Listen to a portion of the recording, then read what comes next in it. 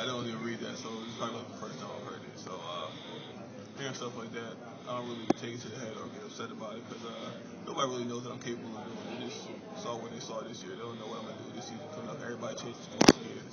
Everybody's gonna have an opinion on you. I mean, uh, they had the same kind of doubts about Dwight Howard when he came in, and look where he's at now. So I'm not really worried about that. All I know is I'm gonna come in and work hard